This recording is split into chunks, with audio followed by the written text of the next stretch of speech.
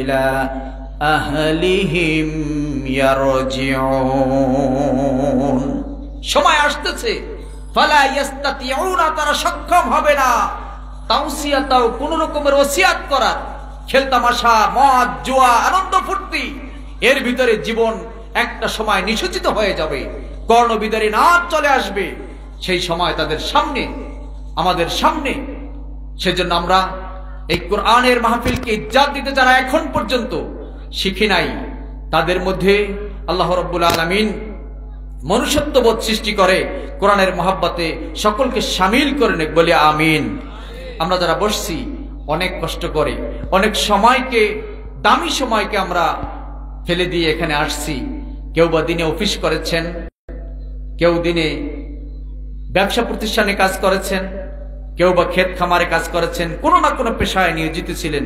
এখন রাত্রির বেলা সাধারণত একটু রাত্রিতে বিশ্রাম নেওয়াটাই স্বাভাবিক। কিন্তু আজকে আমরা বসছি কার মহাব্বতে? আসতে বললেন কেন? ভয় হয় নাকি? এখানে বসছি কার মহাব্বতে? কাকে পাওয়ার জন্য? আল্লাহ তালাকে পাওয়ার জন্য তার মহব্বতে বসছি। কারণ আমাদের সৃষ্টিকর্তা তিনি, রিজিকদাতা তিনি, আমাদের সম্মানের মালিককে, রিজিকের মালিককে এই বরকতের মাস, মহিমান্বিত মাস, বাংলা যেমন ফাল্গুন বসন্তের মাস। কথা বলছেন নাই? বসন্ত সবার জীবনে আসে। সে ফাল্গুন বসন্তের মাস তেমনি ভাবে আবার ইংরেজি, ফেব্রুয়ারি, আন্তর্জাতিক মাতৃভাষা দিবসের মাস, ভাষা আন্দোলনের মাস, আরবি মাসটি হচ্ছে সাবান মাস। যেই মাসটাকে নবী করিম সাল্লাহ আলহিহাসাল্লাম একটা সুতয় তিনটি মাসকে গেঁথে দিয়েছেন। রজব মাস আমরা অতিবাহিত করেছি। প্রিয় হাবিবের মেয়েরাজ, ইতিমধ্যে সাতাইশে রজব, সেই দিবসটি উদযাপিত হয়েছে। আলেমা মসজিদে, মাঠে ময়দানে আল্লাহর হাবিবের এই অত্যন্ত চমকপ্রদ মজেজা, অনেক মশুর মজেদা নিয়ে কথা বলেছেন। সে রজব মাস অতিবাহিত করে সাবান মাসের প্রথম জুমার দিন, জুমার নামাজ পড়ে আজকে এই সন্ধ্যার পরে এখানে বসছি। আল্লাহ তাআলা এই বরকতের মাহফিলে আমাদেরকে পরিপূর্ণ বরকত দান করুক। আর একবার মহব্বত বলে আমিন। আল্লাহর হাবিব, রজব মাসের চাঁদ যখন উদিত হয়েছে, রজবের চাঁদ যখন নবীজির চোখে পড়েছে হাত উঁচু করে রব্বে করিমের দরবারে দোয়া করেছেন।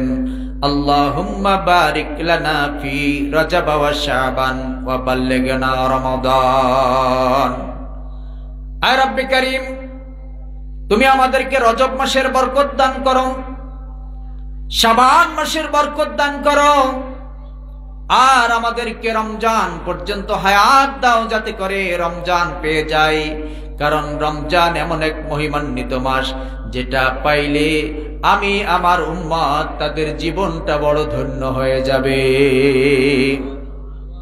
সেই শাবান মাস, যেখানে রয়েছে লাইলাতুল নিসফে মিন শাবান, লাইলাতুল বারাত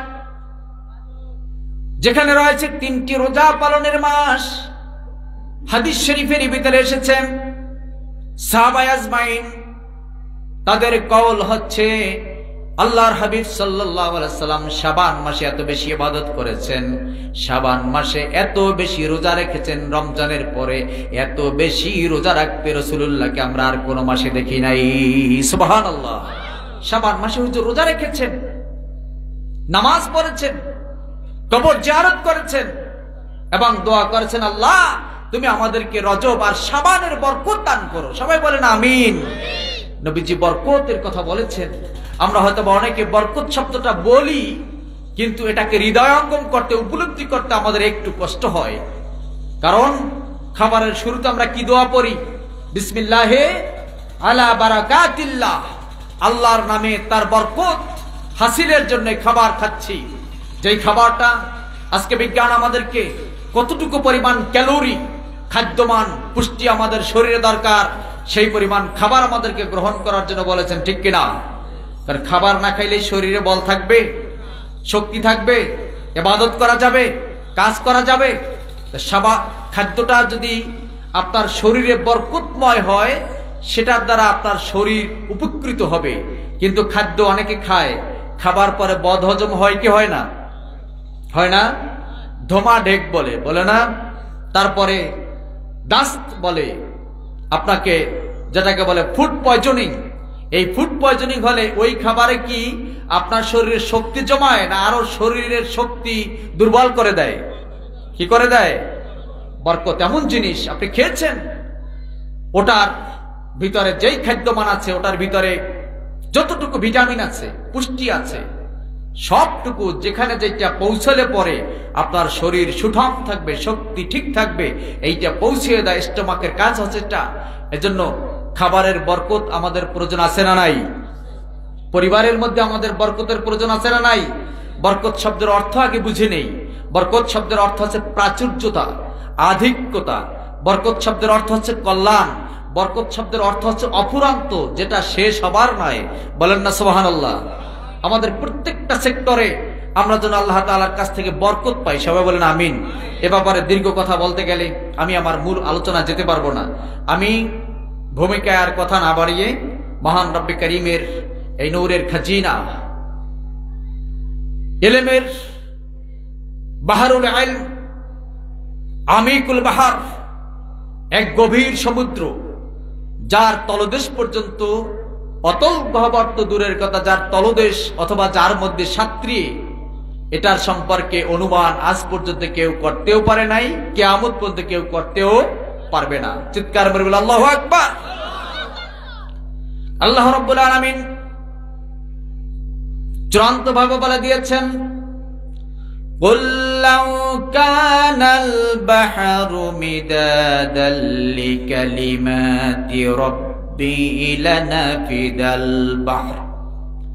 রব্বি আপনি বলে দিন, গোটা পৃথিবীর সমস্ত সূরার নাম পড়লি, আপনি তার অর্থ অনুধাবন করেন, তাহলেই বুঝতে পারবেন এর ভিতরে আল্লাহ তালা কি আলোচনা করেছেন।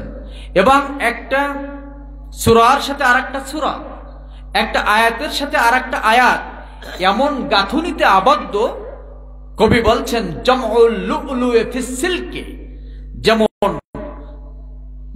মালা গাঁথুনিওয়ালা যেমন, একটা মণি, একটা মুক্তা, একটা হীরা, একটা জহরাত, একটা স্বর্ণ, একটা রৌপ্য, একটা ডায়মন্ড দিয়ে সুন্দর যে মালা গাঁথলে, একটার পর একটা সুন্দর যে গাঁথুনি দেয়, আল্লাহ তালা তার চাইতেও সুন্দর করে কোরআনকে সুনিপুণ ভাবে সুসজ্জিত ভাবে আমাদের সামনে আল্লাহ তালা তুলে ধরেছেন, আলহামদুলিল্লাহ।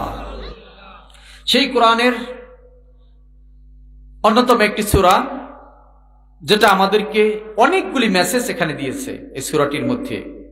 বিশেষ করে কেয়ামতের ব্যাপারে আল্লাহ তালা কিছু খবর আমাদেরকে দিয়েছেন এবং সকল অনিশ্চয়তা থেকে ঊর্ধ্বে উঠে নিশ্চয়তার বলে বলিয়ান হয়ে তার জন্য সামান বা প্রস্তুতি গ্রহণ করার জন্য আল্লাহ তালা প্রেরণা দিয়েছেন এবং এই সুরাটির মধ্যে আল্লাহ রব্বুল আলমিন জান্নাতিদের নিয়ামত কেমন হবে জাহান্নামীদের শাস্তি কেমন হবে?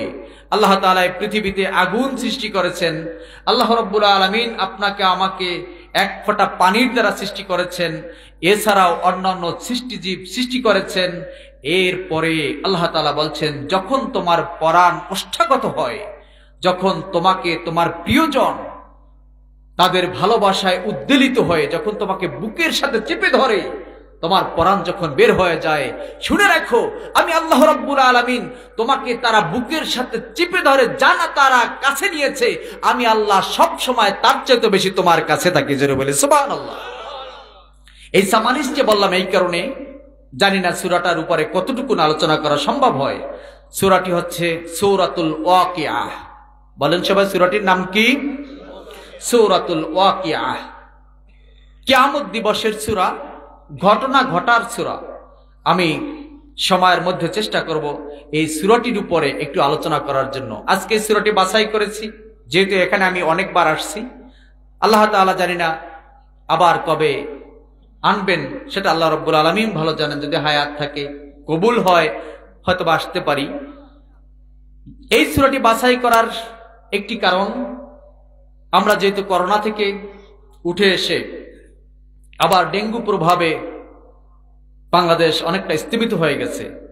এরপরে আপনাদের জন্য, আমাদের জন্য কিয়ামতের আগে আরও কত মুসিবাত, কত বিপদের ভবিষ্যৎবাণী নবী করিম করেছেন। কারণ, এই পৃথিবীর মানুষ তার মনুষ্যত্ববোধ হারিয়ে ফেলেছে।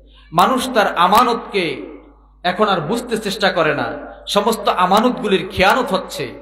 সত্য উঠে গেছে, হালাল রিজিক ভুলে গেছে, দাজ্জালের আলোচনা প্রায় বন্ধ হয়ে গেছে। এই সময়টা কিয়ামত অতি সন্নিকটে।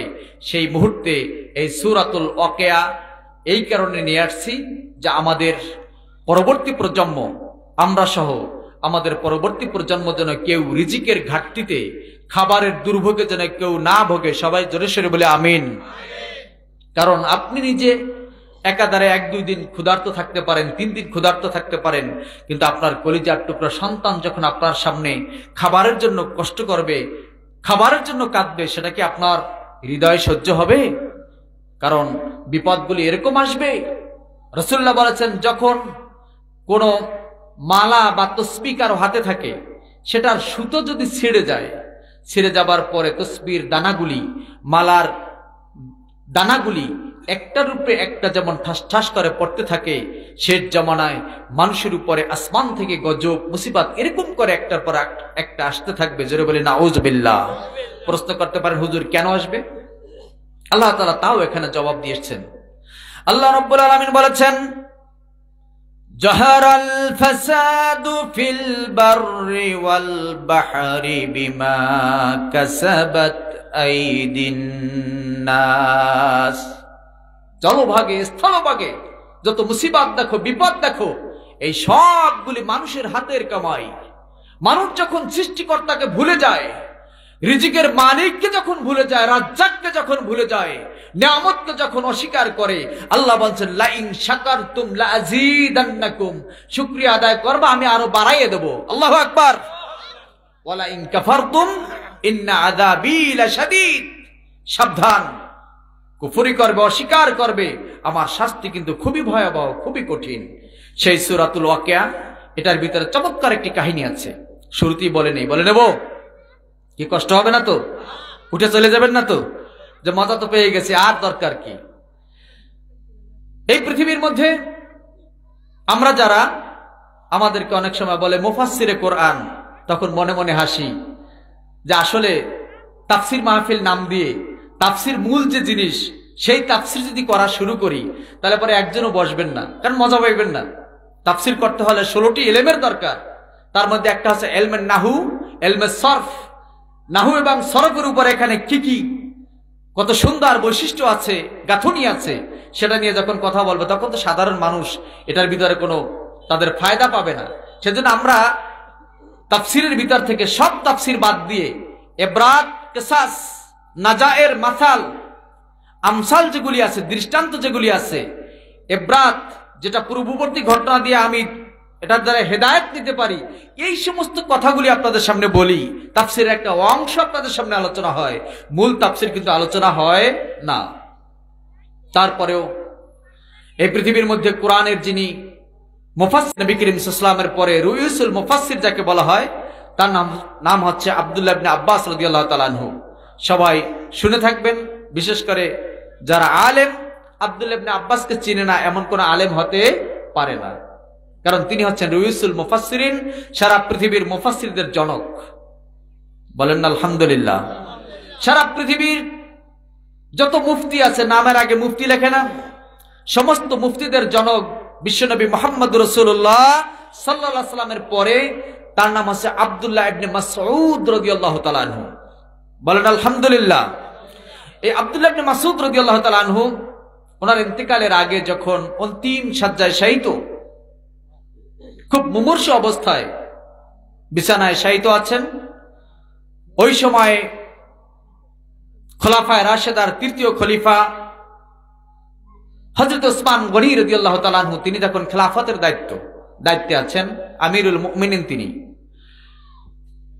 ওনার কাছে খবর গেছে আব্দুল্লাহ ইবনে মাসুদ রদি আল্লাহ তালান খুব অসুস্থ, যাকে ওমর রদি আল্লাহ তালাহু ডেজিগনেশন দিয়েছিলেন ফাতাল কুহুল বয়সে ছোট, কিন্তু জ্ঞানে বড়। নবী করিম সাল্লামের সুরা সদস্যের মধ্যে যারা, তাদের মধ্যে আব্দুল মাসুদ ছিলেন একজন। বয়সে সবার চেয়ে তিনি ছিলেন ছোট, কিন্তু প্রজ্ঞা, মেধা, বুদ্ধি এত বেশি ছিল জমর তালু তাকে বলছেন ফাতাল কুহুল অর্থাৎ ছোট বয়সে পাকা। সেই আব্দুল ইবনে মাসুদ মুফতিদের জনক যখন বিছানায় শায়িত, খলিফাতুল মুসলিমিন, আমিরুল মুমিনিন তখন তাকে দেখতে গেলেন। দেখতে গিয়ে তার সাথে কথোপকথন করছেন। সে হাদিস খানা তাফসির ইবনে কাসির সহ অসংখ্য তাফসির কিতাবে এসছে। আব্দুল মাসুদ রাদিয়াল্লাহু তাআলার কপালে ওসমান রাদিয়াল্লাহু তাআলাহু হাত রেখে বলতেছেন, মা তাসতা কি আপনার অসুস্থতাটা কি? আপনার রোগটা কি? আপনার অভিযোগটা কি? কষ্ট কিসের? আব্দুল ইবনে মাসুদ আমরা যেমন যদি কেউ আমাকে প্রশ্ন করে, আপনার কি রোগ? তখন বলেন, আমার জ্বর, বিষ ব্যথা বা শরীরের যেই কষ্টটা অনুভব হচ্ছে, সেটার কথাই তো বলি। কিন্তু রইসুল ফকাহা, তিনি বলতেছেন, আমার অসুস্থতাটা হচ্ছে জুনুবি খতায়া। আমার অসুস্থ হচ্ছে আমার গুণা আমি আমার গুনার চিন্তায় অসুস্থ হয়ে পড়েছি। এরপরে আমার ওসমান গনি রাদিয়াল্লাহু তাআলা আনহুম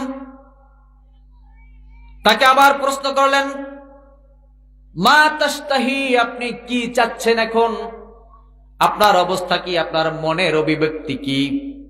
আপনি গুনার কথা বলতেছেন, অথচ সাহাবায়ে রাম রাদিয়াল্লাহু তাআলা আনহুম আজমাইন সবাই আল্লাহর পক্ষ থেকে এত চমৎকার সার্টিফিকেট পেয়েছেন। নবীদের পরে এত সুন্দর সার্টিফিকেট পৃথিবীর মধ্যে আর কেউ পায় নাই, আর কেয়ামত পর্যন্ত পাবেও না। বলেন, সুবহানাল্লাহ।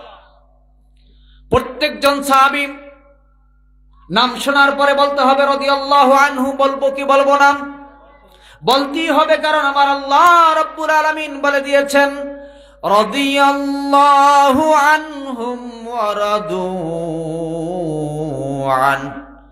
আমার নবীর সাহাবিরা, আমি আল্লাহর উপরে যেমন সন্তুষ্ট, আমি আল্লাহ রব্বুল আলামিন আমার নবীর সাহাবীদের উপরে সন্তুষ্ট। সুবাহান আল্লাহ সন্তুষ্ট যেই ব্যক্তির উপরে থাকে, সে যদি বলে, আমার গুণাগুলি, আমার দুশ্চিন্তার কারণ, আমার রোগ, তখন ওসমান গরিরুল্লাহ বলছেন, মা তাস্তাহি আপনার মনের আর্জি কি? আমার মনের আর কোন আর্জি নাই, চাহিদা নাই, কামনা নাই, বাসনা নাই। আমার মনের বাসনা হচ্ছে রহমাতু রব্বি, আমি আমার রবের রহমাত চাই। জোরে বলেন, আলহামদুলিল্লাহ। আমরাও আল্লাহর কাছে কি চাই? সবাই জোরে বলেন, আল্লাহর কাছে কি চাই? রহমত তো চাইতেই হবে। মমিন বান্দা যখন নামাজে দাঁড়ায়, নামাজে দাঁড়িয়ে প্রতিবার যখন বলে আলহামদুলিল্লাহি রব্বিল আলামিন। পড়েন সবাই। আর রহমানির রহিম। আল্লাহ রব্বুল আলমিন বলেছেন, আমি একদিকে যেমন দয়ার সাগর আর একদিকে এমন মেহেরবান রব। দুনিয়ার মধ্যে কোন মানুষ যদি মানুষের কাছে কিছু চায়, কোন অধীনস্থ লোক যদি তার মালিকের কাছে কিছু চায়, সে বেজার হয়ে যায়, কষ্ট পায়, ধমক দেয়, আমি তোমাদের এমন রব, এমন মালিক, আমার কাছে না চাইলে পরে আমি বেজার হয়ে যাই, কষ্ট পাই, আমার কাছে চাইলে আমি আল্লাহ রব্বুল আলমিন খুশি হয়ে যাই। সেই জন্য আবদুল্লাহ মাসুদ বলেন রহমাত রব্বি আমার রবের রহমাত আমার কাছে বড় চাওয়া, বড় পাওয়া। এরপর উসমান গনি রাদিয়াল্লাহু তাআলা বলছেন, হাল আদউ লাকাত তাবিব? ওগো রয়ুসুল ফাকাহা, আমি কি আপনার জন্য একজন ডাক্তার ডেকে দিব? ডাক্তার আনি, ডাক্তার আপনাকে দেখুক, আপনার অসুস্থতার উপরে সে চিকিৎসা করুক। সে বলছে, কোন ডাক্তার আপনি আনবেন? আত্মবিব আমরদানি। খোদ ডাক্তারই তো আমাকে অসুখ দিয়েছে। পৃথিবীর কোন ডাক্তার আমার অসুখ ছাড়তে পারবে না। কারণ তার তাওয়াক্কুল এমন আল্লাহর উপরে ভরসা ছিল, বিশ্বাস ছিল। আল্লাহর প্রেমে, আল্লাহর ভালোবাসায় নিজেকে এমন ভাবে গুছিয়ে নিয়েছিল। সে ভাবছে যে আল্লাহ রব্বুর আলমিন যদি আমাকে রহমত দিয়ে ধন্য করেন, আমার মৃত্যুর পরে যদি আল্লাহ আমাকে মাফ করে দেন, সেই জীবনটাই আমার জন্য কল্যাণকর। জোরে বলেন সুবাহান আল্লাহ আমরা মৃত্যুকে ভয় পাই মৃত্যু থেকে পালাতে চাই মৃত্যু থেকে এড়িয়ে থাকতে চাই অথচ আল্লাহ রাব্বুল আলামিন বলেন قل إن الموت الذي تفرون منه فإنه ملاقيكم যেই মৃত্যু থেকে তুমি পালিয়ে থাকো ভুলে যাও মৃত্যুকে এড়াইয়ে থাকো মৃত্যুকে সামনে আনো না পিছনেই রেখে দিয়েছ ওই পৃষ্ঠা জীবন থেকে উল্টায় রাখছ। আমার আল্লাহ বলতেছেন, ওই মৃত্যু হঠাৎ করে তোমার সামনে এসে তোমার সাথে মোলাকাত করবে। মালাকুল মাউতের হাত থেকে কেউ রেহাই পাবে না। ঠিক কিনা? কি রেহাই পাবো? যেতে হবে। ওসমান গনি রদুল্লাহ তালানুকে সাপ জানিয়ে দিলেন, আর তবিব আমরা জানি। আরে ওসমান গনি, আমার ডাক্তারই তো ওষুধ দিয়েছে। আমাদেরকে ওষুধ দেন কে? জোরে বলতে হবে, কে দেন? সুস্থ করেন কে? ওয়াইদা মারিত্তু ফাহুয়া ইয়াশফিন। ঔষধ খাই আমরা দাওয়া হিসাবে। আপনি হয়তো ঔষধ খেয়ে মনে করছেন, ঔষধ খেয়েছি, ভালো হয়ে গেছি। আপনি জানেনই না। ঔষধ আপনার স্টমাকের ভিতরে যাওয়ার পরে আমার আল্লাহর কাছে অনুমতি চায়, আল্লাহ কাজ করব কি করব না। পৃথিবীর চাইতে তেরো লক্ষ গুণ সূর্যটা বড়। ওই সূর্য প্রতিদিন আমাদের চোখের অগোচারে যখন চলে যায়, প্রতিবার উদয় হতে গিয়ে আমার আল্লাহর কাছে অনুমতি চাই আল্লাহ, আমি কি উঠবো? আমার জন্য অনুমতি আছে কি নাই? আল্লাহ তালা বলছেন ওঠো বলেন না সুবাহান আল্লাহ এরপরে ওসমান গনির তালানহু বললেন, তাহলে আমি আপনার জন্য কি করতে পারি? আল্লাহ না করুক, আপনি যদি চলে যান, আপনার তাফসিরের ভিতরে লাগছে এখনও দুইটা কন্যা অবিবাহিত রয়ে গেছে। তাদের হেফাজত আর কেফালতের জন্য আমি দায়িত্ব নিলাম, আমি আপনাকে আশ্বাস্ত করি। আপনার মনে তৃপ্তি আসবে সেই জন্য আপনাকে শুভ সংবাদ দিতেছি। আমি বাইতুল মাল থেকে আপনার পরিবারের জন্য একটা বরাদ্দ দিয়ে দেব, যেটার দ্বারা আপনার অবর্তমানে আপনার পরিবারের সব কাজগুলি সমাধান হয়ে যাবে। আব্দুল্লাহ মাসুদ বললেন রেসমান গনি, অঢেল সম্পদের মালিক আপনি। আর আমি মাসলা মাসাইল গবেষণা করতে করতে ওরকম সম্পদ আমাকে আল্লাহ তালা দান করেন নাই। তা আপনি কি ভাবছেন আমার অবর্তমানে? আমার কন্যারা না খেয়ে থাকবে, আমার স্ত্রী না খেয়ে থাকবে, আমার সংসারে দুর্ভোগ আসবে, রিজিকের ঘাটতি হবে। আপনি কি সেটা ভাবছেন? আমি তো এটা কখনো ভাবি নাই, কারণ আমি আমার পরিবারের সবাইকে, বিশেষ করে আমার দুই কন্যাকে, সামনে নিয়ে আমি সুরাতুল ওয়াকিয়া তাদেরকে সুন্দরভাবে শিক্ষা দিয়ে দিয়েছি। সুরায় ওয়াকিয়া আমি তাদেরকে শিক্ষা দিয়েছি। শুধু শিক্ষাই দেয় নাই। আমি তাদেরকে বলেছি, তারা যেন প্রতি রাতে সুরায় ওয়াকিয়া না পড়ে, যেন ঘুম না যায়। জোরে বলেন সুবাহান ওসমান গনি আনহুম হেকমত জিজ্ঞাসা করলেন, রে মুমিনিন, আপনি হেকমত জানতে চাচ্ছেন? রহমতের নবী, করুণার নবী, দয়ার নবী, কত চমৎকার বলেছেন। আমার উম্মতেরা শুনে রাখো। আমার সাহাবিরা শুনে রাখো, তোমাদের মধ্যে যারা সুরাতুল ওয়াকিয়া নিয়মিত রাত্রি বেলা করবে, আল্লাহ রব্বুল আলামিন ওই পরিবারের উপরে কখনো রিজিকে ঘাটতি দেবে না। রিজিকের দুর্ভোগ তাদের হবে না। মান করা সুরাতুল ওয়াকিয়া, হাদিস শরীফের ভিতরে এসছে, মান করা সুরাতুল ওয়াকিয়া, কুল্লু লাইলাতিন লাম তুসিবহু ফাকাতুন আবাদা। যে ব্যক্তি পূর্তি রাতে সুরায় ওয়াকিয়া পড়তে পারে, যেই ঘরের ভিতরে পূর্তি রাতে সুরায় ওয়াকিয়া তেলাওয়াত হয়, এজন্য আমাদের হিফস মাদ্রাসাগুলিতে আমাদের ওস্তাদেরা অন্তত পক্ষে একজন ছাত্র দিয়ে, সবাই না পড়লেও একজন ছাত্র দিয়ে পাশে মাগরিবের পরে দশ দেওয়া থাকে, তাকে বলা থাকে, তুমি সুরায় ওয়াকে আজকে পড়বা। আবার আগামীকালকেও পড়বে। প্রতিটা হেক্স মাদ্রাসায়, প্রতিটা আবাসিক মাদ্রাসায়, যেই মাদ্রাসাগুলি ইসলামী তালিম তরবিয়াত কোরআন এবং শূন্য অনুযায়ী দিচ্ছে। তাদের মাদ্রাসাগুলিতে সুরায় ওয়াকিয়া পড়ানো হয়। এই কারণে তাদের মাদ্রাসায় তলেব এলেমদের খাদ্যের কখনো ঘাটতি হয় না। বলেন না আলহামদুলিল্লাহ। কোথা থেকে চলে আসে? যারা মাদ্রাসা চালায়, অনেক দুশ্চিন্তার মধ্যে থাকে আবার দেখে যে না, অমুকে মান্যতের কিছু পাঠাইছে, কেউ ছাগল পাঠাইছে, কেউ এক বস্তা চাল পাঠাইছে, কেউ দশ হাজার টাকা মান্যত করছিল যে, এই রোগটা ভালো হলে দিয়ে দেবো। ভালো হয়ে গেছে, দিয়ে দিছে। কি চলতেছে না? যারা একনিষ্ঠতার সাথে, এখলাসের সাথে, আন্তরিকতায় আল্লাহ এবং তার রসুলের মহাব্বতে মাদ্রাসাগুলি চালায়, তাদের কখনো কষ্ট হয় না। কিন্তু কেউ যদি স্বার্থের জন্য, নাম ফুটানোর জন্য, অথবা ওটা থেকে ব্যবসা করবে, এ নিয়ে যদি চালায়, তাহলে তার ভিতরে বরকত হতেও পারে, নাও হতে পারে। ওসমান গনিরুল্লাহ তালাহু থক হয়ে গেলেন যে আল্লাহ তালার উপরে তাওয়াক্কুল কত বড় হতে পারে। আব্দুল ইবনে মাসুদ রাদিয়াল্লাহু তাআলাহু কত চমৎকার তাওয়াক্কুল আলা ছিলেন, আল্লাহর উপরে ভরসাকারী ছিলেন। তিনি বলছেন, আমি আমার পরিবারে আমার অবর্তমানে কখনো খাদ্যের ঘাটতি হবে, কখনো খাদ্য থাকবে না, আমার পরিবারে অভাব অনাটন হবে, আমার সন্তানরা না খেয়ে থাকবে, এটা আমি কখনো ভাবি না, কারণ সুরায় ওয়াকে আমার ঘরে পূর্তি রাতে তেলাওয়াত হবে। আল্লাহ আকবার।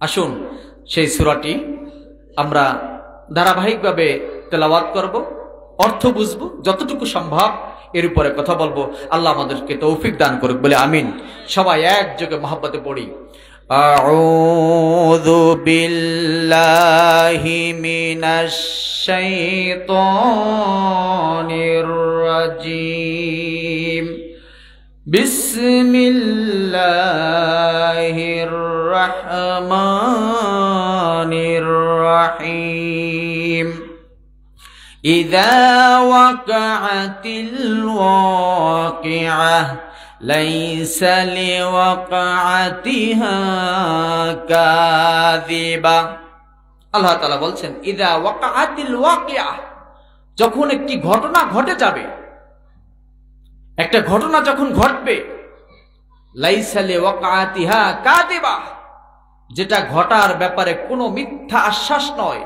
যেটা ঘটার ব্যাপারে কোনো সন্দেহ নয়, যেটা অবিসম্ভবী, যেটা ঘটবি, এরকম একটি ঘটনা আমাদের সকলের সামনে আছে না নাই? আজকে আট দশমিক সাত মাত্রার ভূমিকম্প, সামান্য একটু কম্পন দিয়েছে। তুরস্ক আজকে বিশ্বের বুকে একটা ইতিহাস হয়ে দাঁড়িয়ে গেছে।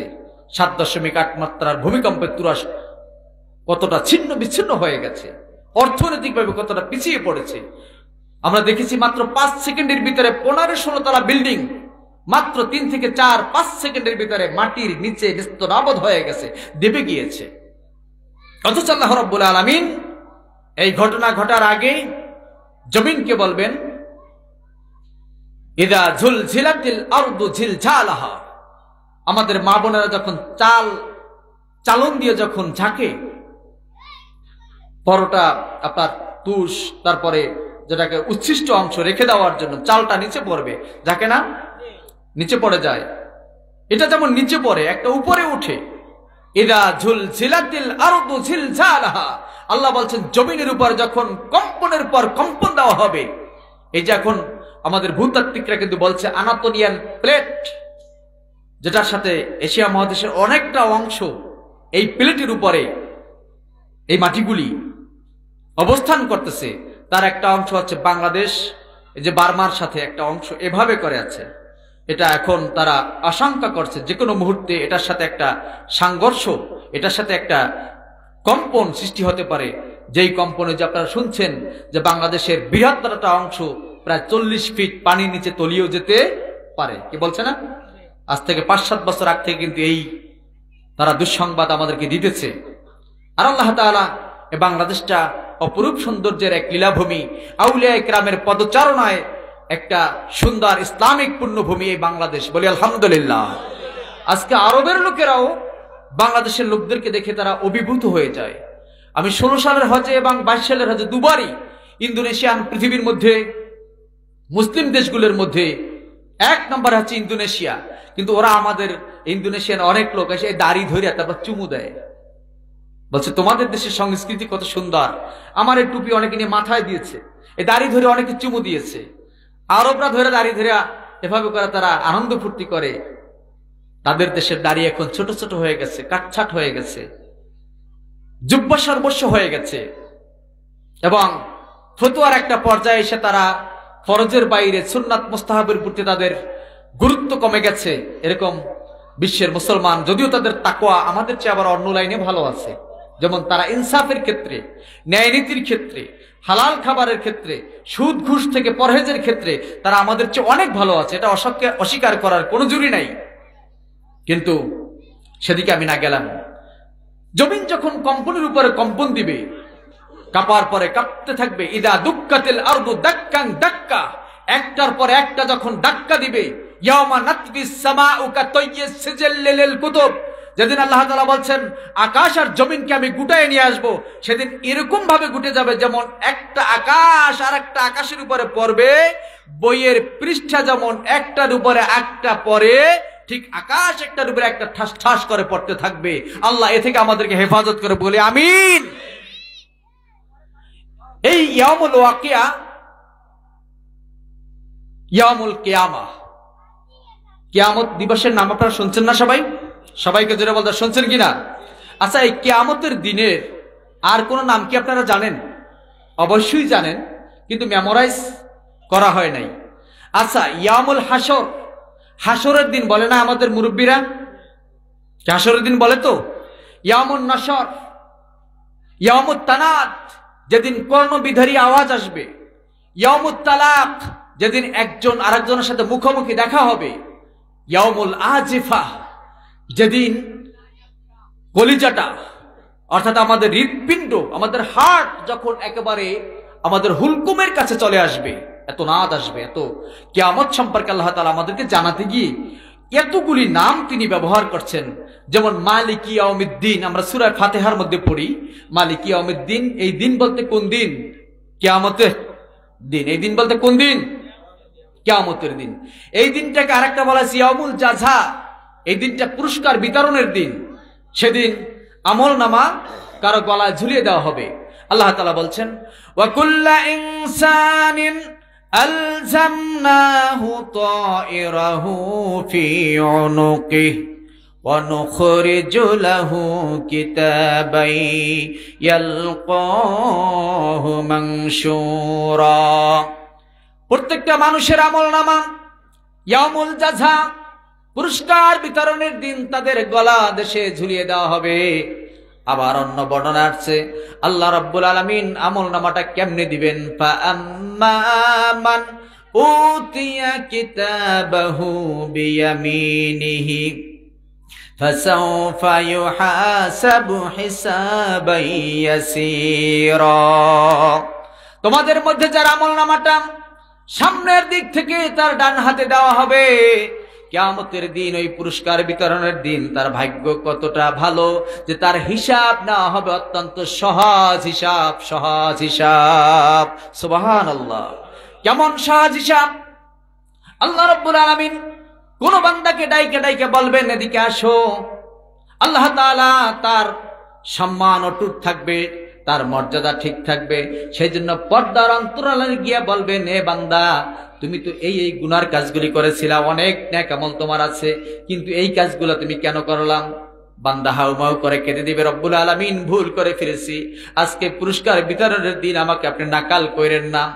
আল্লাহ রব্বুল আলমিন বলেন, যাও, দুনিয়ায় তোমার এই গুণাগুলা যেমন গোপন রেখে দিলাম, আখেরাতের ময়দানে তোমার গুণাগুলা আমি গোপন রেখে তোমাকে মাফ করে দিলাম। যাও, আমার জান্নাতে চলে যাও। ফাদখুলি ফি ইবাদি ওয়াদখুলি জান্নাতি। আমার জান্নাতে শামিল হয়ে যাও। এই জন্য কিয়ামত দিবসের একটা নাম আছে ইয়ামুল জাঝা কিয়ামত দিবসের একটা নাম আছে ইয়ামুল হিসাব। অসংখ্য নাম যদি সেদিকে আমি যাই, তাহলে মূল কথায় আসতে পারব না। শুধু বললাম, অকেয়া কি? অকেয়া মানি হাসরের দিন অকেয়ামানি কেয়ামতের দিন। যেদিন ঘটবে সেদিন সম্পর্কে কোনো সন্দেহ নাই। সোবাহান আল্লাহ কি আপনাদের কারও সন্দেহ আছে নাকি? কেয়ামতের দিন আমাদের উঠতে হবে সবাইকে। পা আম্মা মান উতিয়া কিতাবাহু বিয়ামিনিহি ফাসাওফা ইউহাসিবু হিসাবান ইয়াসীরা, ওয়া ইয়ানকালিবু ইলা আহলিহি মাসরুরা। আমল নামা যখন ডান হাতে দিয়ে দেওয়া হবে, আল্লাহ যখন পর্দার অন্তরালে ডাইকে নিয়ে মাফ করে দিবেন, তখন সে আনন্দে এত আনন্দিত হয়ে যাবে, তখন সে তার পরিবার পরিজনকে খুঁজতে থাকবে। রে ভাই, হাসরের ময়দানে, ওই বিভীষিকাময় মুহূর্তে মানুষেরা যখন হত বিহবাল থাকবে আল্লাহ রাব্বুল আলামিন সেই দিবসের ব্যাপারে বলছেন খাফিদাতুর রাফিআ ওই দিন কিছু মানুষের মর্যাদা এত বেড়ে যাবে, ওই তো এত সম্মান তাদেরকে দেওয়া হবে, এত মর্যাদাবান তাদেরকে করা হবে। তাদের দুনিয়ার এমন কোন পোশাক নাই, যেই পোশাকের সাথে ওই পোশাকের কোনো সাদৃশ্যতা বা উদাহরণ দেওয়া যায়। তাদের মাথায় এত সুন্দর মুকুট পরানো হবে, গায়ে এত সুন্দর জামা পরানো হবে, যে তাদের মর্যাদা দেখে দেখে ফেরেস্তারা তাদেরকে বলতে থাকবে, সালাম সালাম, জোরে বলেন সুবাহান আল্লাহ ফেরেস্তারা বলবে, সালামুন আলাইকুম, তিবতুম ফাদখুলুহা খালিদিন। সালাম আপনাদের উপরে, সেলুট। কনগ্রাচুলেশন ওয়েলকাম যান, জান্নাতের ভিতরে ঢুকে যান। আল্লাহর জান্নাতে ঢুকবেন একবার, কিন্তু কোনদিন আর বের হতে হবে না। রাফিআহ। একদল মানুষকে একদম ধুলায় তুলে তার সম্মানকে নাক কেটে দেওয়া হবে। কীরকম নাক কাটা হবে? তার দুই একটি ঘটনা বলি। আপনাদের কষ্ট হচ্ছে না তো? এই পৃথিবীর মধ্যে কিছু মানুষ সম্পদের কারণে, ক্ষমতার কারণে, বংশীয় কৌলন্যের কারণে, অথবা অন্য যে কোনো কারণে একটু অহংকারী হয় কি হয় না? অহংকারী লোক আছে না? সালাম দিতে চায় না, দিলেও নিতে চায় না। যদি বড় লোকে সালাম দেয় তা ঠিক মতো নয়, আছে না? আবার সালামের এখন আবার স্টাইলিশ সালাম হয়ে গেছে। আছে না নাই? আমাদের রাজনৈতিক নেতাগুলা সালাম দেয়। অথচ সই হাদিস। এভাবে সালাম দেয় ইহুদিরা। কারা দেয়?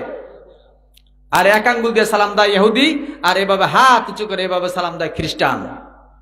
আমরা আমাদের ছেলেদেরকে নাইনে পড়াই, মিসকাতের হাদিস, মোত্তাফাক আলাই মুখে বলে না কিছু। আছে না নাই? এভাবে হাত দেখাইয়া শুভেচ্ছা জানায়। তোমার ইসলাম ধর্মে কত চমৎকার ভাবে শিখিয়ে দেওয়া হয়েছে।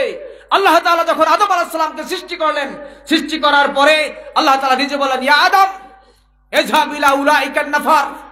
বুখারী মুসলিমের হাদিস, ওই যে একটা দল দেখতেছো, ওই দলের কাছে যাও। অহম নাফার মিনাল মালাইকা জুলুসুন। আল্লাহ বলছেন, এক দল ফেরেশতা মহা সম্মেলন করে তারা বসা আছে সেখানে। আল্লাহ তাআলা সৃষ্টি করার পরে সর্বপ্রথম তাকে আদেশ করলেন, আদম, তুমি ওই মজলিসে ওই সম্মেলনের কাছে যাও। সেখানে গিয়ে কি করবে? ফাসাল্লিম আলাই তাদেরকে তুমি সালাম দিবে। আসসালামু আলাইকুম। সবাই বলেন, আসসালামু আলাইকুম। আমাদের অনেক নেতা আছে, সালামও দিতে পারে না। আছে না নাই? আসসালাম আলাইকুম। বলে না? বিসমিল্লাহ রাহিম। বিসমিল্লাহ রহমান রাহিম বলতে পারে না। আগে প্রায় নেতারই শুনতাম বিসমিল্লাহ রহমান রাহিম। বলতে না বলতে না? আরে, নেতা তো সে ব্যক্তি হতে পারে। যার মাথায় জ্ঞান আছে, বিবেক আছে, বুদ্ধি আছে, আপনারা যাদেরকে নেতা বলছেন শুধু ইসলামিক জ্ঞানের জ্ঞানী না হয়, তাহলে এই জগতের মধ্যে তার সামান্য কিছু দিনের প্রাপ্তি থাকতে পারে, কিন্তু আখেরাতে আল্লাহর দরবার কি আছে সেটা আল্লাহ তালাই ভালো জানে। আল্লাহ বলছেন এঝাবিলা উলাইকা নাফার, ফাসাল্লিম আলাই, তাদেরকে সালাম দাও, ওয়াসমাউ মা ইউহাইয়ুনাকা। আদম, তুমি মন দিয়ে শুনবে, তারা তোমাকে কি কনগ্রাচুলেশন জানায়? তারা তোমাকে কি অভিবাদন জানায়? সেই অভিবাদনটাই হবে তোমার এবং তোমার ঔরজ্জার যত সন্তান তোমার নসল থেকে পৃথিবীতে আসবে, তাদের সকলের অভিবাদন সবে সেই একটাই। গুড মর্নিং বলছে? বলে নাই। তারপরে এভাবে শুভেচ্ছা দিতে বলছে? আদম আলাহিসাল্লাম সেই ফেরেস্তাদের মহাসম্মেলনে গিয়ে বলছে, আসসালামু আলাইকুম ও রহমতুল্লাহ। বলেন সবাই। আমার বাবা কথা বলেছে। সন্তান কথা বলতে কি কার্পণ্য করা উচিত? ভয় পাওয়া উচিত? লজ্জা পাওয়া উচিত? কোন রকমের ব্যাখ্যাল হওয়া উচিত? আদম আলাহ সাল্লাম এতটুকুন বলছেন, আসসালামু আলাইকুম ওরহমতুল্লাহ সঙ্গে সঙ্গে ফেরেস্তারা সমস্যার জবাব দিয়েছেন ও আলাইকুম আসসালাম ওয়া রহমাতুল্লাহি ওয়া বারাকাতুহু। ফেরেস্তারা একটু বাড়াইয়ে বলছে, বরকতের দোয়া করছে। বেচারাটা খুশি। ফেরেস্তাদের দোয়া কবুল হবে কি হবে না? এই জন্য নবীজি বলছেন, সালাম দেওয়া সুন্নাত লওয়া কি ওয়াজিব। সালাম দিলে আবার নব্বই নাকি, লইলে কয় নাকি? দশ নাকি। মাসলা জানেন না সবাই? আল বাদিউ বিস সালাম, বারিউ মিনাল কিবির। যে ব্যক্তি সালাম দিয়ে শুরু করতে পারে, সালাম দিতে পারে, সে অহংকার থেকে মুক্ত হতে পারে। আর অহংকার এমন একটি খারাপ গুণ খাসাইলের জিলা, যেটা সম্পর্কে তাফসিরে আসছে, আপনি যত বড় বার্নিশ করা, যত দামি কাঠ দিয়ে আপনি ফার্নিচার করেন না কেন? এটার পিছনে যেটা আগুন লাগিয়ে দেওয়া হয়, এটা কি আগুন কি এটাকে রক্ষা করবে? না পুরে ভস্মীভূত করে ফেলবে? ছাই করে ফেলবে? যেটার দাম পরে এই পুরো সোফার দাম যদি দশ হাজার টাকা হয়, এটা যখন ছাই হয়ে যাবে, পুরা ছাইয়ের দাম কি আপনারা দশ টাকাও দিবেন? তেমনি ভাবে একদল মানুষ অহংকারের কারণে ঔদত্যশীল আচরণের কারণে আখেরাতের ময়দানে তাদের আমল তো দূরের কথা ইমানটা পুরো ছাই হয়ে যাবে। ওই মানুষগুলি হাসরের ময়দানে যখন উঠবে, তাদের জিল্লাতে হবে এরকম। রসুল্লাহ সাল্লাম বলছেন, তাদেরকে মিনিয়েচার করা হবে, ক্ষুদ্রাকৃতির করা হবে, যেমন কান নামলা পিঁপড়ার মতো। ওই পিঁপড়ার মতো আকৃতি নিয়ে যখন উঠবে, অন্যান্য হাসুরবাসীরা দেখে তাদেরকে ধিক দিবে, তাদের গায়ে থুতু নিক্ষেপ করবে, জোরে সরে চিৎকার বলে বলি না আর সামনে গেলাম না খোয়াফি খাফিদাতুর রফিয়া সূরা ওয়াকিয়ার তিন নম্বর আয়াত। এক দলকে একেবারে নিস্তনাবদ করে ফেলবে, নাক কেটে ফেলবে, সম্মান বলতে কিচ্ছু থাকবে না। আপনি এই পৃথিবীর বড় একজন ধনী মানুষ, কিন্তু আখেরাতে যখন আপনি উঠবেন, অন্ধ হয়ে উঠবেন, তখন অবস্থা কেমন হবে? আল্লাহ রব্বুল আলামিন সেই কথাই তো বলেছেন, ওয়ামান আন যিকরি ফাইন্না লাহু মাঈশাতান জানকা। যে ব্যক্তি আমি আল্লাহর স্মরণ থেকে গাফেল হয়ে যায়, নামাজটা ঠিকমতো পড়ে না, রোজা ঠিকমতো রাখে না, আমার দিনের হুকুমগুলি ঠিকমতো পালন করে না, ও যত খাটুক না কেন, ও যত রোজগার করতে চেষ্টা করুক না কেন, ও যত কামাই করুক না কেন, ওর যত টাকা থাকুক না কেন, ওর রুটি রুজি আমি আল্লাহ রব্বুল আলমিন সংকীর্ণ করে দেবো, জোরে বলি নাউজুবিল্লাহ। সেজন্য তো আমরা দেখি অনেক বড় মালিক প্রাডো গাড়ি আরও বড় বড় দামি ব্র্যান্ডের গাড়ি, তিন চার কোটি টাকা দামের গাড়িতে চড়ে, কিন্তু খাবার খাইতে পারে না। দামি দামি পোশাক পরে, কিন্তু খাবারের বেলায় ডাক্তার বলে দিয়েছে এটা খাবা না, এটা খাবা না, এটা খাইতে পারবা না, এইটা খাইলে স্ট্রোক করবা, এইটা খাইলে প্রেসার বেড়ে যাবে আসো না নাই? আমার আল্লাহ বলছেন ফাইন ফাইনালাহু মাঈশাতান জানকা ও রিজিকের ব্যবস্থা এত ছোট হয়ে যাবে, ও যত কামাই করুক টাকাগুলি ওর কোনো কাজে আসবে না। উপরান্ত আখেরাতের ময়দানে যখন সে উঠবে ওয়া নাহশুরুহু ইয়াউমাল কিয়ামাতি আ'মা হাসরের ময়দানে উঠবে অন্ধ হয়ে। সেদিন চন্দ্রের আলো নাই, সূর্যের আলো নাই।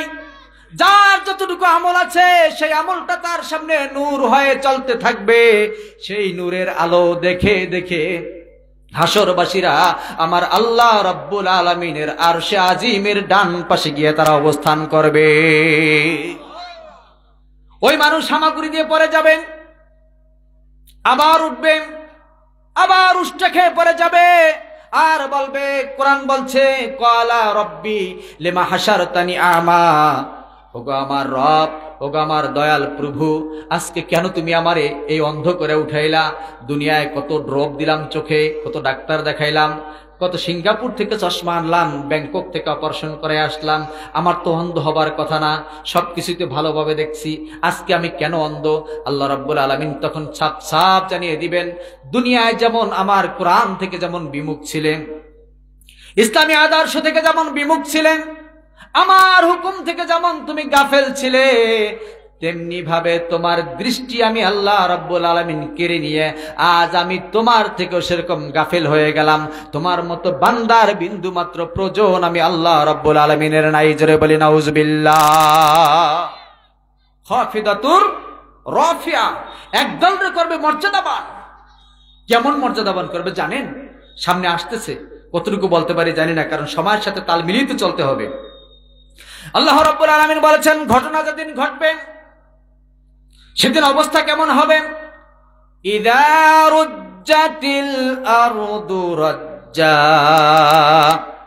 এই পৃথিবীর মধ্যে এখন দুবাই ব্রুজ খলিফা একশত উনসত্তর তালা পর্যন্ত হয়েছে। সৌদি আরব তাদের প্ল্যান দিয়েছে দুইশো তলা তারা করবে। দুবাই আবার বলছে, তাহলে তো তোমাদের দেশে পর্যটক যাবে, সেটা হতে দেওয়া যাবে না। আমরা পাল্লা দিয়ে কারোর সাথে ঠকবো না। তোমরা যদি দুইশো তলার প্ল্যান দাও, আমরা কমপক্ষে দুইশো দশ তলার প্ল্যান দেব। কথা বুঝছেন নাই, বোঝেন নাই? আর আমার নবীজি এদের ব্যাপারে জিবরেল আমিনকে সামনে নিয়ে মুসলিম শরীফের হাদিস, হাদিসে জিব্রাইল। জিবরেল আমিন যখন নবীজিকে প্রশ্ন করলেন, নবীজি, কিয়ামত কবে হবে? আল্লাহর হাবিব বলেন, মাল মাসউল আনহাবি আলামি মিনাস সাইল। যারে প্রশ্ন করা হয়েছে, তার চাইতে প্রশ্নকারী এ সম্পর্কে কম জানে না। বলছে, নবীজি, তাহলে আখবরে নিয়ান আমারতিহা। নবী গো, আমার কিয়ামতের কিছু আমারত বা কিছু আলামত বলেন।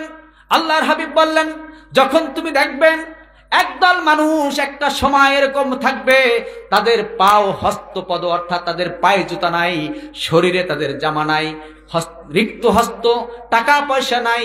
এই যে কত কত বছর আগে আপনারা হয়তো এখানে অনেকে আছেন, দেখছেন সৌদি থেকে মাহাল্লুম আসতো। নাকি ভুল বলতেছি আমি? আরে আমি তো এই যুগের মানুষ, আপনারা তো আমার চাইতে আর একটু ওল্ড মডেলের মানুষ। মাহাল্লুম আসতো না আসতো না? কি জন্য আসতো?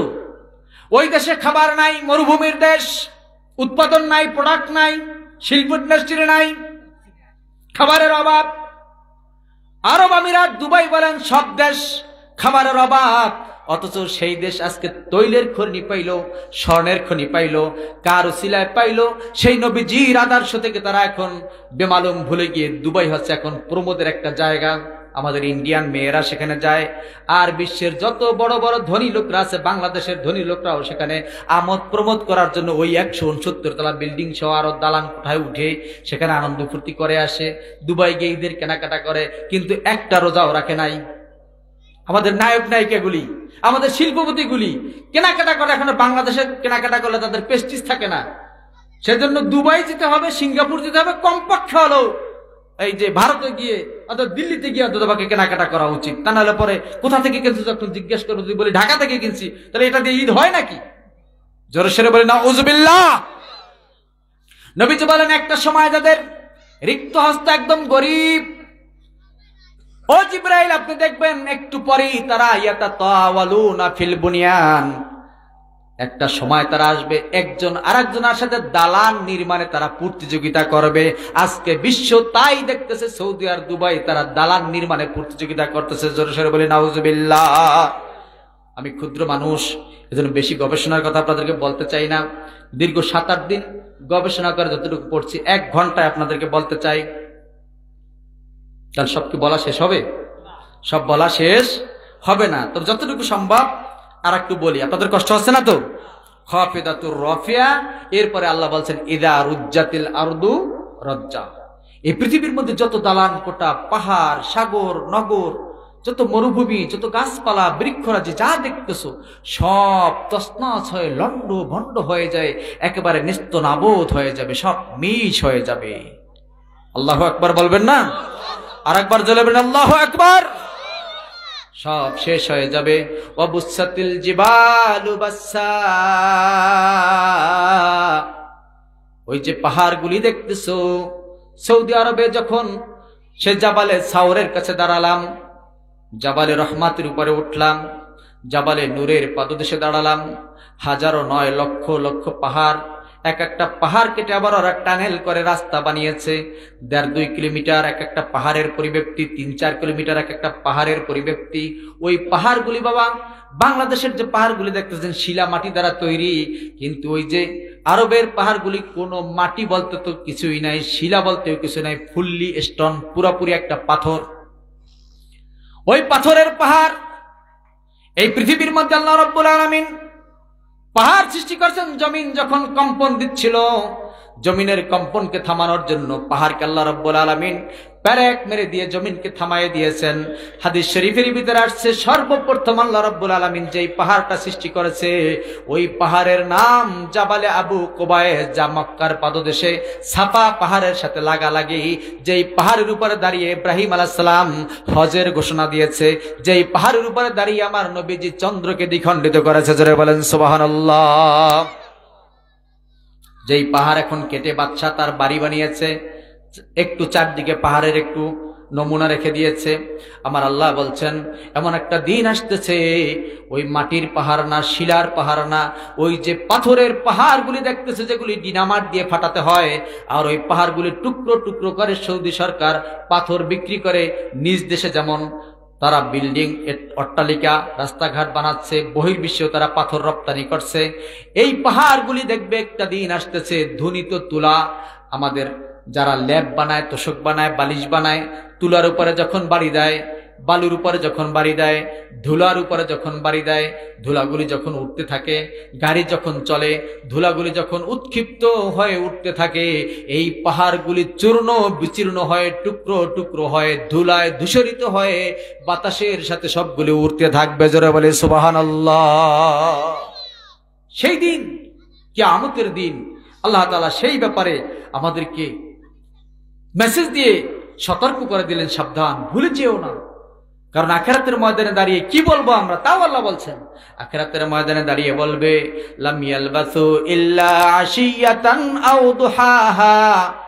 আহারে দুনিয়া আহারে দুনিয়া। দুনিয়া নিয়ে এত ব্যস্ত ছিলাম এত মত্ত ছিলাম অথচ আজকে আখেরাতের ময়দানে পঞ্চাশ হাজার বছর দাঁড়িয়ে থেকে মনে হয় দুনিয়ার মধ্যে মনে হয় যেন এক দুপুর অথবা এক বিকাল এর চাইতে বেশি সময় আমরা দুনিয়ায় ছিলাম না কতটুকু সময় ছিলাম আহরে দুনিয়া ভাইরা আমার আল্লাহ রব্বুল আলামিন এরপরে বলতেছেন وَكُنْتُمْ أَزْوَاجًا ثَلَاثًا জমিন যখন ঝাঁকুনির পরে ঝাঁকুনি দিবি, মানুষগুলি যখন উঠে যাবে, কবর থেকে সব উঠবে, সবাই জেন্দা হয়ে যাবে। জেন্দা হওয়ার পরে দুইটা রেওয়ায়ত, একটা হচ্ছে কোনো মানুষের শরীরে কোনো পোশাক থাকবে না, খালি পায়ে উঠবে। আর একটা রেওয়ায়ত আছে ফারুক আজম। ওমর ফারুক রদুল্লাহ তালানু বলছেন, এ আল্লাহর হাবিবের সাহাবিরা, তোমরা তোমাদের মৃত্যুদেরকে ভালো কাফিনের কাপুর পরায়ও কারণ ভালো কাফুনের কাফির দিয়া এই কারণে দিতে বললাম আল্লাহর হাবিব ইসলাম বলেছেন, কাফনের কাপড়টা দ্বারা এমন মর্যাদাবান ব্যক্তিও হবে যারা আখেরাতের ময়দানে শুধু না, কবরের জিন্দিগিতেও একজন আরেকজনের সাথে এই গায়ের কাফনের কাপুর পরিত অবস্থায় একজন আরেকজনের সাথে দেখা করে বেজরে বলেন সুবাহান আমরা তো মনে করি কবরের মধ্যে গেলে পৌঁছে যাব, গইলে যাব। কিন্তু আমার ফারুক বলছেন, না রহমত আল্লাহ আলমিন বলেছেন, আল্লাহ তালা এমন কিছু বান্দারে মামুন মর্যাদা দিবে, তারা আখেরাতের ময়দানে উলঙ্গ উঠবে না, তারা ওই কাফনের কাফুর পরিহিত অবস্থায় তারা উঠবে। সুবাহান আল্লাহ সোয়াদায় কেমনে উঠবেন? যেই জামা গায়ে দিয়ে, যেই পোশাক পরিধান করেন যুদ্ধ করে রক্ত মাখা শরীর নিয়ে কবরের মধ্যে যেমন শোয় দেওয়া হয়েছিল, তারা কবরের মধ্যে এখন জিন্দা। আমার আল্লাহ বলছেন বালহুম ইউরজাকুন বরং তাদেরকে খাদ্য কবরের মধ্যে দেওয়া হয়। আর কেয়ামতের ময়দানে যখন উঠবে, ওই রক্ত মাখা জামা নিয়া শহীদরা আল্লাহর দরবারে হাজির হয়ে যাবে। তো সবাই কি ন্যাংটা হয়ে উঠবে আখেরাতে? মর্যাদা অনুযায়ী সেদিন মর্যাদা ঠিক থাকবে। ভাইরা আমার, ওঠার পরে তিনটা দল হয়ে যাবে, কয়টা দল? তিনটা দল হয়ে যাবে, আল্লাহ রব্বুল আলমিন বলেছেন ফাসহাবুল মাইমানাতে মা আসহাবুল মাইমানা। একদল হবে ডানপন্থী, ডান দিকে থাকবে, একটা তাফসির, সবগুলো তাফসির বলতে পারব না, যতগুলো পড়েছি। তাফসির ইবনে কাসির থেকে বলতেছি, একটা তাফসির হলো ইবনে কাসির রহমতুল্লাহ আলাই বলছেন, তিনটা দল কীভাবে হবে? রব্বে করিমের আরসের সামনে একটা দল থাকবে, ডান পাশে একটা দল থাকবে, বাম পাশে একটা দল থাকবে। ডান পাশে যারা থাকবে, তাদেরকে বলা হয় আসহাবুল আমিন তাদেরকে বলা হয় ডানপন্থী সমস্ত মোমেনরা। আদম আলাহ সালাম থেকে শুরু করে একেবারে ক্যামত পর্যন্ত ইমানদার মোমেন যারা, তারা আল্লাহ রব্বুল আলমিনের আর শাজিম এরকম সামিয়ানা থাকবে। এই সামিয়ানার ডান পাশে তারা থাকবে, জোরে বলেন সুবাহান আল্লাহ আরেক দল হবে আসহাব শিমাল। সিয়াকার, বৎকার, পাপি। দুষ্ট, দুরাচার। এই পৃথিবী যাদের কাছে একমাত্র কামনা বাসনা ছিল, ওরে পৃথিবী কেমন? বিশ্বনবী রহমতুল্লাহ আলমিন বলতেছেন দুনিয়া উজিফা ও তলিবুহা কেলাব। দুনিয়া একটা মরা লাশ, যেমন একটা মরা গরু, এটা তালাশ করে কারা? মানুষে। ও তলিবুহা কেলাব। কুকুর এটা সন্ধান করে। কুকুরের নাকি এটা ঘেরান যাবার পরে কুকুর আর শকুনগুলি পাগলের মতো হয়ে যায়। এটার পিছে তারা ঝগড়া করে, একটা কুকুর আর একটার সাথে ঝগড়া লাগাইয়া দেয়। দেখবেন একটা গরু জবাই দিলে এক হাজার মানুষ খাইতে পারে। কিন্তু ওই গরুটা যখন ময়রা যায় পয়সে যায়, ওই গরুটা একটা কুকুর যখন টাইনা পাশে আনে, আর একটা কুকুর যখন সামনে আসে খাবার জন্য, ওই কুকুরটা ওই মরা লাশ রেখে ওইটারে লড়ায় যে, তুই খাবি কেন তো? আমার একা? ভুল বললাম না, ঠিক বললাম। ঠিক কিনা বলেন? কুকুরের চরিত্র এরকম। খাইতে পারে ওটা এক হাজার কুকুরে খাইতে পারবে বা পাঁচশো কুকুরে খাইতে পারবে। কিন্তু ওর টাইনে আনছে এই জন্য আর কোনো কুকুরে সে খাইতে দিবে না। যে রসুল্লাহ বলছে না দুনিয়া জিফা দুনিয়া দুনিয়া করো, দুনিয়া একটা মরালাস। এটার কিছু পরে থাকে কারা? যারা কুকুর চরিত্রের মতো, তারাই দুনিয়াকে একা খাই আরও চাই আরও পাই বিলিয়ন ট্রিলিয়ন টাকার মালিক হলে পরেও বিশ্বের ভিতরে এক নম্বর ধনী হবার পরও সে থেমে নাই। কি থেমে আছে? অথচ তার স্ত্রী, পুত্র, সন্তান কোথায় আছে? সে খবর নাই। সম্পদ কোথায় আছে সেটাকে আরও চাই। বাংলাদেশের কিছু ধনী আছে না? আমরা পত্র পত্রিকা পড়ি, সংসার শুনি। কত মানুষের কত রকমের কাহিনী, কত ডেজিগনেশন। দরবেশ ইসলামী শরিয়াতের কত চমৎকার একটা কথা। কিন্তু মানুষকে এখন এই দরবেশ শব্দটা ব্যবহার করায় কটাক্ষ করার জন্য। নাউজুবিল্লাহ মিন জালিক। আল্লাহ এ থেকে আমাদেরকে হেফাজত করুক। বলে, আমিন। যাদের মাথায় জ্ঞান নাই, তারাই কোন রকমের দুষ্ট দুরাচারকে দরবেশ বলতে পারে। সাবধান। ইসলামী শরিয়াতের কোন সম্মানিত ডেজিগনেশন নিয়ে যদি খেল তামাশা করেন, আখেরাতের ময়দানে জবাব দিতে হবে। সেদিকে মাথায় রেখে কাজ করতে হবে। বাম পাশে দেখবে আসহাবুল শিমাল আর সামনের ব্যাপার আল্লাহ রব্বুল আলমিন বলছেন والسابقون السابقون أولئك المقربون في جنات النعيم যারা অগ্রবর্তী এই মাহফিল শোনার পরে এখানে আজকে প্যান্ডেল সাজানোর পরে সবাইকে আপনারা একসাথে আসছেন হ্যাঁ এখনও কেউ আসবে আসবে বলে অপেক্ষা করতেছে না? যে প্রধান অতিথি উঠছে জিগে না ওঠে নেই। কথা উঠুক। বুঝেন নাই? একজনে ধরছি মাহফিলে বসেন না কেন? হুজুর, মাহফিল তো শুরু হয় না জিকির করে। সে জিকিরে বসবে না। আছে না নাই? একজনে জিজ্ঞেস করে, জহুর নামাজ পড়তে গিয়ে এক রেখাত হয়ে গেছে, তা আমি মাসবুক, আমিও জানা যায় গেছি। ফুরফুরে জামা গায়ে সুন্দর পরিপাটি চেহারা, দেখতে নাদুস নাদুস তো বলো কি, নামাজ আসেন না? কেন আমি জানা যায় আসছি। কথাই বোঝেন নাই? সে নামাজে আসে না, আসছে কি সে জানা যায় আসছে। কেন, ওখানে ভোট চাওয়া লাগবে, জনপ্রতিনিধি হইতে হলে এ জানা যায় আসতে হয়। আছে না নাই? আমি জানা যায় আসছে, আমি নামাজে আসি নেই। আহারে বিবেক, আহারে জ্ঞান। আল্লাহর হাবিব যখন কালেমার দাওয়াত দিলেন সবার আগে খাদিজাতুল কুবরা, এরপরে নারীদের মধ্যে খাদিজাতুল কুবরা, পুরুষদের মধ্যে এগিয়ে আসছেন কে? সিদ্দিক আকবর, আবু বকর সিদ্দিক রবি আল্লাহ তালা জোরে বলে মার হাবা ভাইরা আমার আসাবলি আমিন তারা ডান পাশে থাকবেন। তাদের ব্যাপারে সুরায় কেয়ার মধ্যে কত চমৎকার বর্ণনা আছে। তাদের সামনে আল্লাহ রব্বুল আলমিন কত সুন্দর করে আপ্যায়নের ব্যবস্থা করবেন, সুন্দর মুকুট পরায় দিবেন, একটা সময় আসবে ফেরেস্তা বলবেন, আমল নামা হাতে দিয়ে বলবেন, এই আপনার জান্নাতের টিকিট। আর ওই যে একটা লাল উট দেখতেছেন, যে ব্যক্তি সাবান মাসের তিনটা রোজা রাখতে পারছেন আম্মা জানা এসা সিদ্দিক রাদিয়াল্লাহু তাআলা বলেন, আল্লাহ রব্বুল আলামিন কেয়ামতের দিন তাকে এমন একটা উটে পরাইয়া জান্নাতে নিবেন। সেই উটটার বর্ণনা লাগছে হাদিস শরীফের ভিতরে, লাল একটা উটে চড়াই আল্লাহ তাআলা তাকে জান্নাতে নিয়ে যাবে। তখন আসাবলি আমিন বলবে, কই? আমার হিসাব হবে না, আমাকে দাঁড়াতে হবে না। বলছে, এই যে আপনারা এখানে দাঁড়িয়েছিলেন, এখানে বসছিলেন, এইখানে একশত আশি কাতার, একশত আশি কাতারের মধ্যে, একশো বিশ কাতারের মধ্যে আল্লাহর হাবিব সাল্লাহ সাল্লাম বলছেন, আখেরাতের ময়দানে কমপক্ষে অর্ধেক আমার উম্মত হবে আর বাকি অর্ধেক হবে অন্যান্য সমস্ত নবীদের উম্মত। জোরে বলে সুবাহান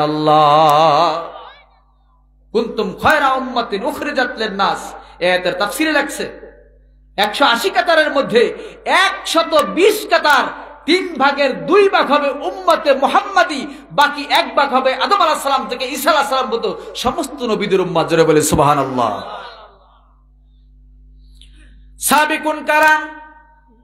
সাবিকুনদের মধ্যে এক নাম্বার আছে নবীরা। যারা দ্রুত এগিয়ে আসছে, তাওহীদ রিসালাতের কাজ করছেন এরপরে সাবিকুন হচ্ছে তারা সিদ্দিকিন এজাম যেমন ঈসা আলাহ সালামের সাথে একজন ব্যক্তি ছিল, তার নাম ছিল হাবিবে নাজ্জার। সুরায়াসিনের তফসিরের ভিতরে লাগছে এই হাবিবে নাজ্জার যখন ঈসা আলাহ সালামকে হত্যা করতে চেয়েছিল, বারবার যখন তিনি ট্রাজেডির ভিতরে পড়ে গিয়েছিল। হাবিবে নাজ্জার বারবার বিভিন্ন কৌশল করে আল্লাহর নবী ঈসাকে হেফাজতের জন্য চেষ্টা করেছে। যারা বলেন, সুবহানাল্লাহ।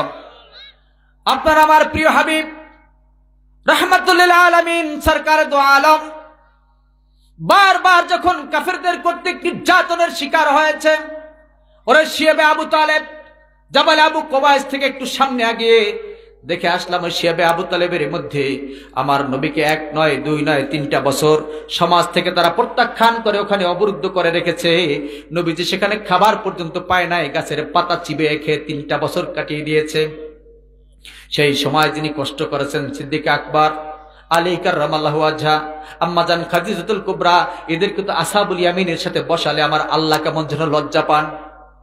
এর জন্য আমার আল্লাহ রব্বুল আলমিন সাইদান আদম আলাহাম থেকে শুরু করে সমস্ত নবীদেরকে যেই জায়গায় বসাবেন, সেই জায়গায় আল্লাহর হাবিবকে যারা বেশি ভালোবাসছে, নবীদেরকে যারা বেশি ভালোবাসছে, বারবার প্রোটোকল দেওয়ার জন্য যারা এগিয়ে আসছে গাড়ের শহরের ভিতরে যে সাথী হয়েছিল আবু বাকর সিদ্দিক খাদিজুল কুবরা সহ, আশারায় মুবাশশারা সহ, এরকম জলিল কদর একদল মানুষ আর পয়গম্বর আলাইহিমুস সালাম সুহাদায়ে এজামকে আল্লাহ রাব্বুল আলামিন তার আরশে আজিমের সামনে বসাইয়া দিবে।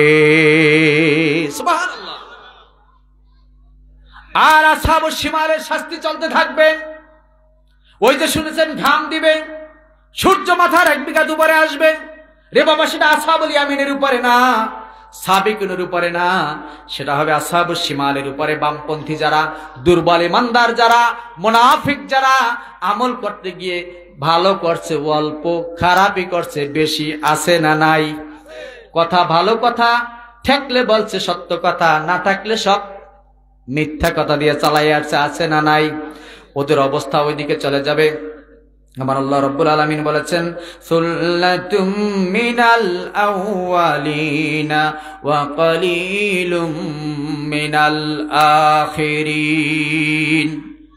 আসাব শিমাল যখন বসা থাকবে, আল্লাহর হাবিব সাল্লাম বলছেন, আল্লাহ রব্বুল আলমিন, এখান থেকে একটা আপ্যায়ন করবার পরে তাদেরকে ফেরেস্তা লাল উঠে চড়াইয়া একটা জায়গায় নিয়ে যাবে ও মিজাজহু তাসনিম। তিরিশ পারার একটা সুরার ভিতরে আছে। তাসনিম নামক একটা ঝর্ণা জান্নাতের ভিতরে আল্লাহ রব্বুল আলমিন তৈরি করে রেখেছেন। ওই তাসনিম নামক ঝর্ণার কাছে নামার পরে প্রত্যেকটা জান্নাতি বান্দাকে আল্লাহ রব্বুল আলমিন ফেরেস্তার মাধ্যমে তাসনিমের ঝর্ণার পানি দিয়ে সবাইকে গোসল করাবে। জোরে বলেন সুবাহান আল্লাহ ওই পানিটার পাওয়ার কি? ওই পানিটার বৈশিষ্ট্য কি?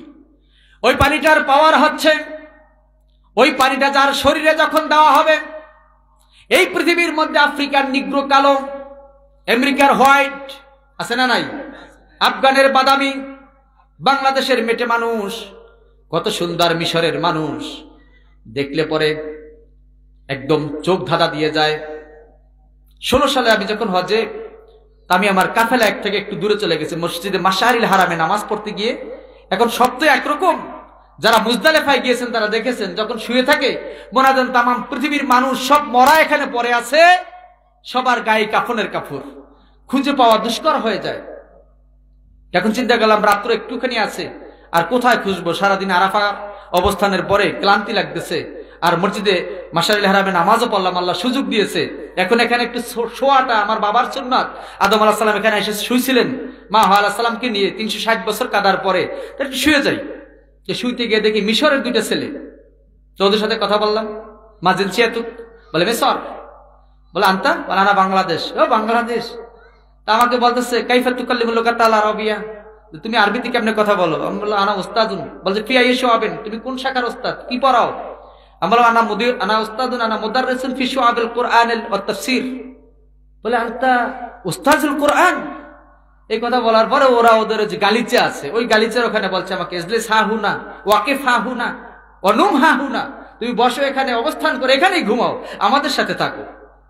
তোরা দুই ভাই চেহারার দিকে তাকিয়ে, এত ভালো লাগল আর মনে পড়ল আল্লাহ। মিশরের ছেলেরা এখন এত সুন্দর। তাহলে আমার নবী ইউসুফ কত সুন্দর ছিল, যা দেখে নারীরা হাত কেটে ফেলেছে সুবাহান আল্লাহ এখন এই যে কালো মানুষ, খাটো মানুষ, চিকন মানুষ, মোটা মানুষ, পেট বড়, চোখ নাই, অন্ধ, কালা, জান্নাতে যাবার পরে এরকম যদি থাকে, তাহলে জান্নাতিরা যে একটা সৌহার্দ্য আচরণ করবে, ওই যে ভিআইপি ভদ্রলোকরা, ওখানে গিয়ে আবার কি ভিআইপি ভিআইপি থাকবে নাকি? আবার আল্লাহ বলছেন, কোন ভিআইপির কোন সিস্টেম নাই, সবাই ভিআইপি একদম গরিব জান্নাতির জান্নাত বসলে তোর এই দুনিয়ার দশটা দুনিয়া কেনা যাবে। আল্লাহ একবার তসনিমের ঝর্নার কাছে নেবার পরে যখন ওই ঝর্ণার পানি তাদের গায়ে দেওয়া হবে, তফসিরে এসছে, সঙ্গে সঙ্গে মানুষটার চেহারা নবী ইউসুফ আলাহ সালামের মতো হয়ে যাবে। জোরে বলেন সুবাহান আল্লাহ সঙ্গে সঙ্গে সমস্ত চিকন, খাটো, মোটা সব মানুষ এক আকৃতি সৈয়দনা আদম সফিউল্লাহ আবুল বাসার আল্লাহ তালা বলছেন খলাক আল্লাহ বিয়াদিহি। আমার নবী বলছেন, আমার আল্লাহ তাকে তার নিজের হাতে বানিয়েছেন। ও তাউলুহু সিদ্দুনা জেরা তার দৈর্ঘ্য ছিল ষাট হাত। ঠিক প্রত্যেকটা মানুষ তাসলিমের পানি দিয়ে গোসল করাবার সঙ্গে সঙ্গে সে লম্বায় সাইডায় হয়ে যাবে, চেহারায় নবী ইউসুফের মতো হয়ে যাবে, সুবহানাল্লাহ। এরপর জান্নাতের দুয়ারে যখন নেওয়া হবে ফেরেস্তারা বলবে, সালামুন আলাইকুম তিবতুম ফাদখুলুহা খালিদিন। শান্তি আর শান্তি, লা জারিয়া। যাও, ভিতরে ঢুকে দেখো, ঝর্ণা, হেলিপোর্ট, এয়ারপোর্ট। তুমি যা চাও, পাহাড়, বাগান বাগান বাড়ি, খামার বাড়ি, যেটা চাও তুমি সব তোমার জন্য সাজানো গোছানো আছে। এ দুনিয়ার বড় বড় বড় লোকদের ইয়ার্ড আছে, ইয়ার্ড। ইয়ার্ড মানে প্রমোত্তরী। এমন জাহাজ যার ভিতরে আনন্দ উদ্দোলের যা কিছু দরকার সব আছে। এগুলো না দেখলে পরে ইন্টারনেট ঘেটে দেখবেন যে কি না আছে সেখানে। আমার আল্লাহ বলছেন, ওয়ালাকুম ফিহা মা তাশতাহি আনফুসুকুম। আমার জান্নাতে আসার পরে যা তুমি চাবে সব তোমার জন্য সেখানে আছে। ওয়ালাকুম ফিহা মা তাদাউন। আর আমি আল্লাহ তাআলা দুনিয়ায় যেগুলি ওয়াদা দিয়েছিলাম, সেই ওয়াদার বস্তু ওখানে সব তোমার জন্য সাজানো আছে। যাও এখানে ঢোকার পরে আর কখনো বের হতে হবে না। আহলুল জান্নাতে ঝুরদুম, মুরদুন, কাহলা, লা ইয়াবনি লা ইয়াবনি সিয়া, লা ইয়াফনি শাবাবুহুম ওয়ালা ইয়াবলা সিয়াবুহুম। তাদের যৌবন তারুণ্য কখনো নষ্ট হবে না। তাদের কখনো পুরান পোশাক গায়ে দিতে হবে না। একটা পোশাক মাত্র একবারই পরবে। এরপর দ্বিতীয়বার আর করে এই পোশাক পরা লাগবে না। আর প্রত্যেকটা পোশাকের সবচেয়ে কম সৌন্দর্য হবে যে পোশাকটা, সেইটাও স্বর্ণ দিয়ে সাজানো আছে। জলের সবাহার আল্লাহ আল্লাহ আমাদের সবাইকে কবুল করুক। কষ্ট পেয়েছেন? আমি ক্ষুদ্র মানুষ। আপনাদের সামনে এরকম ভালো করে আপনাদেরকে জানি না, বুঝাতে পেরেছি কিনা। যতটুকু বলেছি, আল্লাহ তালা আমাকে যেন আমল করার তৌফিক দান করে। বলে আমিন। আল্লাহ তালা আমাদের সবাইকে জান্নাতে এই মহাসম্মেলনে আসাবলি আমিনদের সাথে, সাবিকুনদের পাশে বসে হাসর নাসর করে আমাদের বাবা মা, আত্মীয় স্বজন, ভাই বোন, ছেলে সন্তান সকলকে নিয়ে যেন আমরা পাশাপাশি জান্নাতে অবস্থান করতে পারি। বলি আমিন। এই মাহফিল যারা ইন্তজাম করে, আমাদের আজহার ভাই, তারপরে ইউনুস মাস্টার সাহেব তারপরে এখানের আমাদের মাসুম ভাই সবাই আন্তরিকভাবে শ্রম দিয়ে মাহফিলকে এই পর্যন্ত পৌঁছে দিয়েছেন। আজকে চব্বিশটি বছর অতিবাহিত হয়েছে। আল্লাহ তালা যেন মাহফিলকে কিয়ামত পর্যন্ত সুন্নাত তরিকের উপরে জারি রাখে বলে আমিন। আল্লাহ রব্বুল আলমিন কত চমৎকার কথা তার হাবিব বলেছেন। কোন মাহবুব বান্দা যদি কোনো জনপদে ঢোকে আল্লাহর প্রিয় বান্দা, আল্লাহ তালা তার আগমনের রুচিলায় ওই এলাকার চল্লিশ দিনের কবর আজাব আল্লাহ মাফ করে দেয়। আমরা দোয়া করব আল্লাহ তালার কাছে, আল্লাহ তুমি এলাকার কবর আজাব কিয়ামত পর্যন্ত মাফ করে দাও বলি আমিন। যারা দান করেছেন, যে জিনিয়াতে দান করেছেন, আল্লাহ সকলের দানকে কবুল করুক। এই এলাকার উপরে রহমত বরকুদ্ আল্লাহ তালা পরিপূর্ণ করে দেখ। আল্লাহ আমাদের সকলকে দিন ও দুনিয়ার খৈরিয়ার দান করুক। আমিন। সুম্মা আমিন। আসসালামু আলাইকুম ও রহমতুল্লাহ তালা ও বারাকাতুহ।